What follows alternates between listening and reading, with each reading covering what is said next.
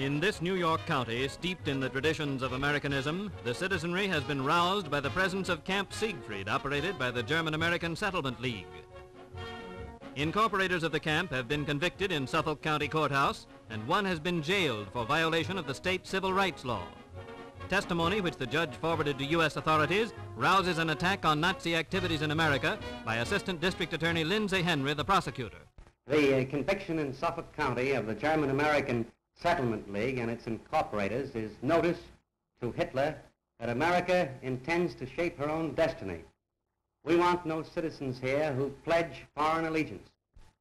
It was proved at the trial that at the Nazi camp in this county, the swastika flag was saluted, Hitler recognized as their spiritual leader, and the members of the Bund pledged allegiance to him. County Judge Hill, who presided at the trial, said that he had never believed such practices could happen in America. But it did happen here.